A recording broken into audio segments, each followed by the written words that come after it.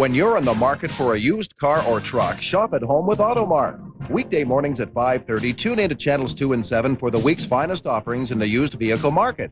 Better still, set your VCR now to record Automart for viewing at a later hour. Automart airs every Monday through Friday at 5:30 a.m. and is updated weekly with a new show beginning every Thursday morning.